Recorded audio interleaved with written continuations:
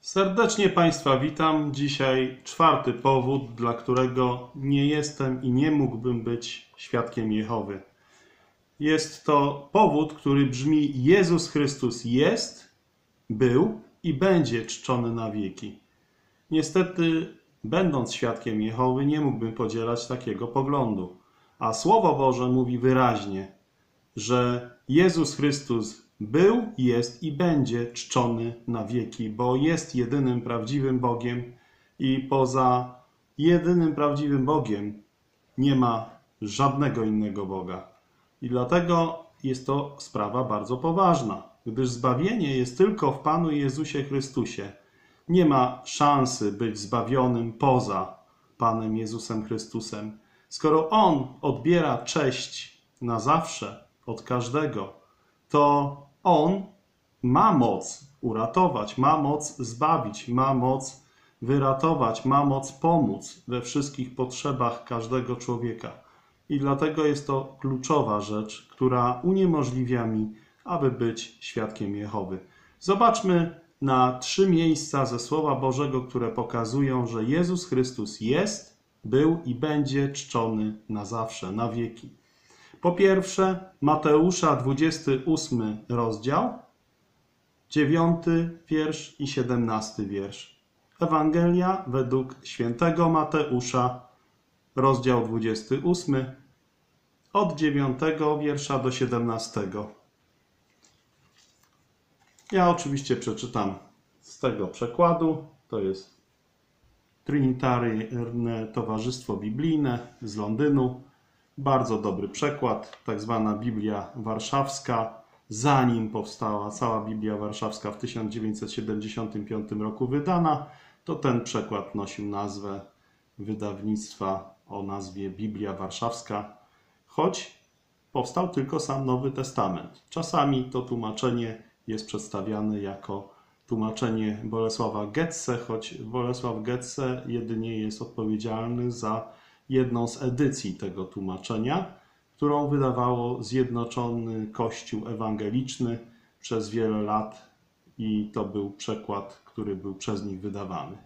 Jeśli ktoś ma życzenie otrzymać taki Nowy Testament, to kilkoma jeszcze dysponuję, chętnie się podzielę. Wystarczy do mnie na numer 791 214 963 wysłać życzenie z informacją. Jeśli będę miał możliwość, to prześlę bezpłatnie, bez żadnych powiązań czy przymuszeń z mojej strony. Jest to całkowicie wolna oferta. Ewangelia Mateusza, 28 rozdział, 9 wiersz. A gdy szły, aby oznajmić uczniom Jego, oto Jezus zaszedł im drogę, mówiąc: Bądźcie pozdrowione. A one, przystąpiwszy, uchwyciły się nóg Jego i oddały mu pokłon. Wyraźnie widzimy, że mamy tutaj Pana Jezusa Chrystusa i te kobiety oddały mu pokłon. Zawsze w Biblii, na kartach Starego i Nowego Testamentu, ilekroć osoba nieuprawniona otrzymywała pokłon, bito jej pokłon, przeganiała te osoby jako osoby, które nie powinny jej oddawać pokłonu. Pan Jezus przyjmuje ten pokłon, bo mu się po prostu należy. On jest jedynym prawdziwym Bogiem, jedynym Bogiem, poza którym nie ma Boga. I Mateusza 28 rozdział, 17 wiersz. A, oj, a ujrzawszy go, oddali mu pokłon. I tutaj widzimy wyraźnie, że uczniowie oddali pokłon Panu Jezusowi. Jednoznacznie Pan Jezus przyjmuje tą cześć i chwałę, bo jest jedynym prawdziwym Bogiem, poza którym nie ma Boga.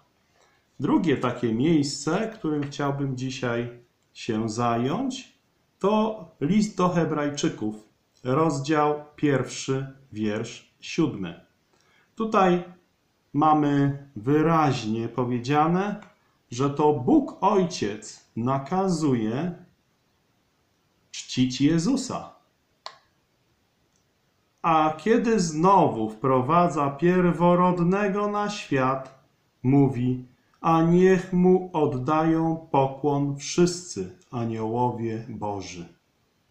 To jednoznacznie pokazuje, że również fałszywa jest nauka niektórych ludzi, takich jak adwentyści Dnia Siódmego czy świadkowie Jehowy, twierdzący, że Jezus jest aniołem. Nawet bezczelnie nadają mu jakieś imię. Michał czy coś podobnego. Jest to całkowita bzdura, skoro wszyscy aniołowie Boży mają oddać cześć Panu Jezusowi, to w tym anioł Michał ma oddać cześć Panu Jezusowi. Nie ma innej możliwości. I ten fragment jest bardzo ciekawy. Pierwszy rozdział listu do Hebrajczyków bardzo zachęcam, żebyście sobie przeczytali. Jest to miejsce, w którym Bóg Ojciec modli się do Syna. Bardzo ciekawe. Uwielbia Go. Tron Twój, o Boże, na wieki wieków. Tak modli się Bóg Ojciec do Syna. Ja wiem, że to brzmi dla kogoś, kto sobie wyobraża Jezusa jako mniejszego od Ojca, jako coś niesamowitego, ale właśnie takie coś Biblia zapisała w pierwszym rozdziale Hebrajczyków, że Bóg Ojciec modli się do Syna, tron Twój, o Boże, na wieki wieków. Bóg Ojciec nazywa Jezusa Bogiem i to jest Jego Bóg. I jeżeli ktoś próbuje coś ze Słowa Bożego ująć lub dodać, Słowo Boże jest jak obosieczny miecz. Te same ostrze, które chcesz użyć do tego, żeby walczyć z Bogiem, to samo ostrze cię skaleczy. I może przeczytam ten pierwszy rozdział listu do Hebrajczyków, żeby nie było, że jestem gołosłowny. Bóg, który częstokroć i wielu sposobami mówił w dawnych czasach do ojców przez proroków, w te dni ostatnie mówił do nas przez Syna, którego postanowił dziedzicem wszystkich rzeczy, przez którego i wieki uczynił, który będąc odblaskiem chwały i wyrażeniem istoty Jego, niosąc wszystko słowem swojej mocy, uczyniwszy przez samego siebie oczyszczenie grzechów naszych, zasiadł po prawicy majestatu na wysokościach, tym przedniejszy od aniołów, im zacniejsze od nich odziedziczył imię. Albowiem komuż kiedy z aniołów rzekł, Tyś jest synem moim, jam cię dziś zrodził. I znowu, ja mu będę ojcem, a on będzie mi synem. A kiedy znowu wprowadza pierworodnego na świat, mówi, a niech mu oddają pokłon wszyscy aniołowie Boży. I o aniołach powiedziano, który aniołów swoich czyni wiatrami, a sługi swoje płomieniem ognia. A o synu, tron Twój, o Boże, na wieki wieków, berłem sprawiedliwości, berło królestwa Twego. Umiłowałeś sprawiedliwość i znienawidziłeś nieprawość. Przetoż namaścił Cię, o Boże, Bóg Twój, olejkiem wesela nad uczestników Twoich. I Tyś, Panie, na początku ugruntował ziemię i niebiosa są dziełem rąk Twoich. One zginą, ale Ty zostajesz i wszystkie jako szata zwiotrzeją i jako odzienie zwiniesz je i będą odmienione, ale Ty tenżeś jest i lata Twoje nie ustaną. A do kogóż kiedy z aniołów rzekł, siądź po prawicy mojej, dopóki nie położę nieprzyjaciół Twoich pod nóżkiem nóg Twoich. Czyż nie wszyscy są duchami służebnymi posyłanymi na posługę z powodu tych, którzy mają odziedziczyć zbawienie? Więc widzimy, jaki zaskakujący jest ten pierwszy rozdział listu do Hebrajczyków. Nie tylko w szóstym wersecie widzimy wyraźnie, kiedy znowu wprowadza pierworodnego na świat, mówi, a niech mu oddają pokłon wszyscy aniołowie Boży, to jest życzenie Boga Ojca. Mamy też co Bóg Ojciec mówi o Synu? Mówi, tron Twój, o Boże, na wieki wieków, berłem sprawiedliwości, berło królestwa Twego. I dziesiąty wiersz, gdzie tutaj jest cytat ze Starego Testamentu, czyli słowo Panie, powinniśmy odczytywać jako Jahweh, lub jeżeli zastosujemy nomenklaturę świadków Jehowy, Jehowa. Czyli tutaj dziesiąty wiersz brzmi w Nowym Testamencie i Tyś, Panie, na początku ugruntował ziemię i niebiosa są dziełem rąk Twoich. To mówi Bóg Ojciec do Syna, do Boga Syna. Ale jeżeli pamiętamy, że w oryginale hebrajskim jest tutaj zamiast słowa Panie Jahwech albo Jehowa, to odczytać możemy to tak, że Bóg Ojciec modli się do Boga Syna w ten sposób. Tyś, Jahwech, na początku ugruntował ziemię i niebiosa są dziełem rąk Twoich. Albo ta modlitwa brzmi w wersji Świadków Jehowy tak. Jeśli byśmy konsekwentnie stosowali ich regułę nazywania Boga Jahwech Jehową. I Tyś, Jehowa, na początku ugruntował ziemię i niebiosa są dziełem rąk Twoich. Tłumaczenie Jehowa ma swoje uzasadnienie w Biblii Gdańskiej, dlatego ja nie czepiam się tego, że to jest forma poprawna czy niepoprawna. Mamy wyraźnie pokazane, że Jezus przez Boga Ojca jest nazywany Jahwech. Jahwech. Jest nazywany tron Twój, o Boże. Ale zgodnie z dzisiejszym odcinkiem chcemy pokazać, że należy mu się pokłon. I szósty wiersz mówi, a kiedy znowu wprowadza pierworodnego na świat, mówi, a niech mu oddają pokłon wszyscy aniołowie Boży. Czyli wszyscy aniołowie Boży oddają cześć i chwałę Panu Jezusowi Chrystusowi. I też Syn jest nazywany przez Boga Ojca Bogiem, którego tron jest na wieki wieków i jest nazywany Jahwech. Tyś Jahwech na początku gruntował ziemię. To oczywiście nie jest zaskakujące, bo w Rzymian 10:9 jest napisane: Jeśli ustami swoimi wyznasz, że Jezus jest Panem i uwierzysz w sercu swoim, że Bóg wzbudził go z martwych, zbawiony będziesz. Rzymian 10:9 jest ciekawym miejscem, bo jest otoczone przez miejsca ze Starego Testamentu, gdzie słowo Panie jest to cytat z miejsc Starego Testamentu, gdzie pada słowo Jahwech. Jahwech i wtedy Rzymian 10:9 należy rozumieć, bo jeśli ustami swoimi wyznasz, że Jezus jest Jahwech i uwierzysz w sercu swoim, że Bóg wzbudził go z martwych, zbawiony będziesz. I właśnie szósty wiersz, gdzie mamy wyraźnie powiedziane w Hebrajczykach, pierwszy rozdział, szósty wiersz, że należy oddawać Jezusowi cześć, nie jest zaskakujący, skoro to jest jedyny prawdziwy Bóg, poza którym nie ma Boga. Trzecie miejsce, które chciałbym dzisiaj przeczytać, żeby ten mój czwarty powód, dla którego nie jestem i nie mógłbym nigdy być świadkiem Jehowy, to ten czwarty powód brzmi: Jezus Chrystus jest, był i będzie czczony.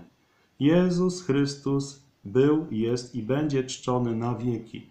I objawienie, piąty rozdział, od szóstego do dwunastego wiersza. Czytam. I spojrzałem, i oto w środku między tronem i czworgiem zwierząt, między starcami stał baranek, jakby zabity, mając siedem rogów i siedem oczu, które są siedem duchów bożych posłanych na wszystką ziemię. I przyszedł i wziął księgę z prawej ręki siedzącego na tronie, i gdy wziął księgę, czworo zwierząt i dwudziestu czterech starców upadło przed barankiem, a każdy z nich miał cytrę i czaszę złotą, pełną wonnego kadzidła, które są modlitwami świętych. I śpiewali nową pieśń, mówiąc, godzien jesteś wziąć księgę i zdjąć z niej pieczęcie, boś był zabity i odkupiłeś nas Bogu krwią swoją, ze wszelkiego pokolenia i języka i ludu i narodu i uczyniłeś nas królami i kapłanami Bogu naszemu i królować będziemy na ziemi. I widziałem i słyszałem głos wielu aniołów około tronu i około zwierząt i starców, i była liczba ich dziesięć tysięcy razy dziesięć tysięcy i tysiące tysięcy mówiących głosem wielkim. Godzien jest ten baranek zabity wziąć moc i bogactwo, i mądrość, i siłę, i cześć, i chwałę, i błogosławieństwo. Widzimy, że Pan Jezus, nazywany tutaj barankiem, jest godzien wziąć moc, bogactwo, i mądrość, i siłę, i cześć, i chwałę, i błogosławieństwo. Dlaczego? Dlatego, że jego doskonała ofiara na krzyżu Golgoty wystarczyła, żeby usprawiedliwić każdego grzesznika, który przyszedł do niego. Bo Słowo Boże świadczy wyraźnie, że Bóg przeznaczył wszystkich na zagładę. Z tego powodu, że każdy zgrzeszył. Tak mówi list do Rzymian. Wszyscy zgrzeszyli i brak im chwały Bożej. Każdy pojedynczy człowiek zgrzeszył. I jeśli by Pan Jezus Chrystus nie przyszedł na ziemię, i nie umarł na krzyżu Golgoty, wszyscy byliby zginęli tak, jak zasłużyli. Każdy z nas na własną drogę zboczył i szedł do piekła. I każdy zasłużył na piekło. Ale Pan Jezus Chrystus, jedyny prawdziwy Bóg, przyjął postać człowieka. Stał się podobny ludziom. Stał się podobny we wszystkim z wyjątkiem grzechu. On grzechu nie znał. I na krzyżu Golgoty, gdy wisiał, w trzech godzinach ciemności został na niego włożony grzech. Bóg wtedy się od niego odwrócił, bo jest powiedziane: Boże mój, Boże mój, czemuś mnie opuścił? Tak wołał Pan Jezus Chrystus. Bo wtedy Bóg nie mógł mieć nic wspólnego z grzechem, który był włożony na Pana Jezusa. Pan Jezus został, można powiedzieć, obrazowo uczyniony grzechem. I wtedy na Niego zostały włożone wszystkie grzechy wszystkich ludzi. I każdy, kto przyjdzie do Pana Jezusa, w wolny sposób może skorzystać z tej doskonałej ofiary, całkowicie wystarczającej do zbawienia każdego jednego człowieka, który przychodzi do Pana Jezusa i prosi o przebaczenie. I teraz, jeżeli taka doskonała ofiara została złożona przez Pana Jezusa Chrystusa, to człowiek wierzący w Pana Jezusa Chrystusa, dzięki temu, że Pan Jezus Chrystus wziął na siebie wszystkie grzechy, to taki człowiek staje się w oczach Bożych święty, sprawiedliwy, niewinny, tak jakby nigdy nie zgrzeszył. A wszystkie grzechy, przeszłe, teraźniejsze i przyszłe, zostały złożone, włożone na Pana Jezusa Chrystusa w tych trzech godzinach ciemności. To była doskonała ofiara za grzech. Pan Jezus Chrystus został potem złożony do grobu już po śmierci i trzeciego dnia z martwych stał i później, jak wstąpił do nieba, po pewnym czasie zesłał Ducha Świętego, który dzisiaj przekonuje każdego o grzechu, sprawiedliwości i sądzie. I dlatego nie ma nikt wymówki, kto nie chce przyjąć Pana Jezusa Chrystusa. Jesteś zobowiązany do posłuszeństwa Ewangelii, która mówi: ratuj się spośród tego złego i przewrotnego pokolenia. To złe i przewrotne pokolenie całe idzie na zagładę. Ty też z nim idziesz na zagładę, jeśli jeszcze nie przyjąłeś Pana Jezusa Chrystusa. Zasłużyłeś na tą zagładę, ale nie musisz iść do piekła, bo Pan Jezus Chrystus umarł za Twoje grzechy. On wziął na siebie Twój grzech. Masz pełną wolność, żeby przez Jezusa przyjść do Boga. Bóg nie da się z siebie naśmiewać. Tak jak za dni Noego było widać wyraźnie, że każdy, kto zgrzeszył, zginąć miał w wodach potopu i wszyscy zgrzeszyli i brak im chwały Bożej. Wszyscy mieli być zgładzeni wodami potopu ale wyjątkowo Noe znalazł łaskę w oczach Pana, to mówi nam ósmy werset. I później, po narodzeniu na nowo, Noe zaczął żyć już w oczach Bożych sprawiedliwym życiem. Ono może nie było sprawiedliwe w oczach ludzi, ale Bóg widział tą sprawiedliwość przypisaną mu, sprawiedliwość Syna Bożego. Pana Jezusa Chrystusa, Syna Człowieczego, świętego, sprawiedliwego. I Pan Jezus Chrystus stał się Jego Zbawicielem. I wtedy widzimy też, że Noe zbudował w posłuszeństwie arkę i razem z siedmioma innymi członkami rodziny został uratowany. Mimo, że wyrok był na cały świat, dzisiaj wyrok jest na cały świat. Wszyscy zgrzeszyli i brak im chwały Bożej, nikt nie ma wymówki. Wszyscy co do jednego są przeznaczeni na zagładę, ale pojedyncze osoby, oby nawet wszyscy, mogą skorzystać z usprawiedliwienia Pana Jezusa Chrystusa. Pojedyncze niestety osoby to są i wąska jest ścieżka wydeptana przez tych, którzy uciekają przed gniewem Bożym. Lepiej by było, gdyby wszyscy byli zbawieni i do poznania prawdy doszli, bo Bóg chce, aby wszyscy ludzie byli zbawieni i do poznania prawdy doszli. I dlatego Jezus złożył doskonałą ofiarę za każdego, nie tylko za 144 tysiące, jak uczą świadkowie Jehowy. Nie ma czegoś takiego jak ograniczone odkupienie. To jest całkowita y, pomyłka. Pan Jezus Chrystus umarł za każdego, żeby, tak jak tutaj czytaliśmy, każdy mógł się stać rodem królewskim i kapłańskim Boga. Bóg chce mieć pełne niebo, nie tylko ograniczoną liczbę, jak cię nauczono w strażnicy być może. To jest poważny błąd. Więc podsumowując mój czwarty powód, dlaczego nie jestem i nie mogę być świadkiem Jehowy, to jest taki, że Jezus Chrystus był, jest i będzie czczony na wieki. Podzieliłem się z Państwem trzema fragmentami z Mateusza 28 rozdział, z Hebrajczyków pierwszy rozdział i z objawienia Jezusa Chrystusa piąty rozdział. Zachęcam do czytania Biblii, nie tylko tych fragmentów, które podaję. Czytajcie całą Biblię, Słowo Boże, po kolei, od pierwszej Mojżeszowej, pierwszego rozdziału, do 22 rozdziału objawienia Jezusa Chrystusa. Naprawdę Słowo Boże może obdarzyć Was mądrością ku zbawieniu. Jest to cenne. Nie ufajcie żadnym ludziom. Nie ufajcie mi. Ufajcie tylko Słowu Bożemu, Biblii, Pismu Świętemu. Nikt z ludzi nie ma prawa dzisiaj przewodzić jak tylko i wyłącznie Pismo Święte, tylko Biblia, tylko Słowo Boże. Trzymajcie się tego bo Bóg dał na czas dzisiejszy teraźniejszą prawdę, którą jest Słowo Boże, Biblia, którą masz w Twoim własnym języku. Jeśli macie pytania, piszcie komentarze pod filmem.